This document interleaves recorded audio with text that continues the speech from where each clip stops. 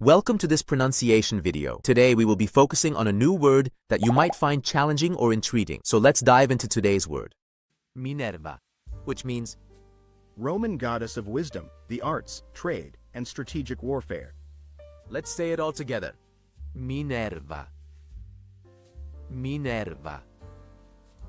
Minerva. One more time. Minerva. Minerva. Minerva.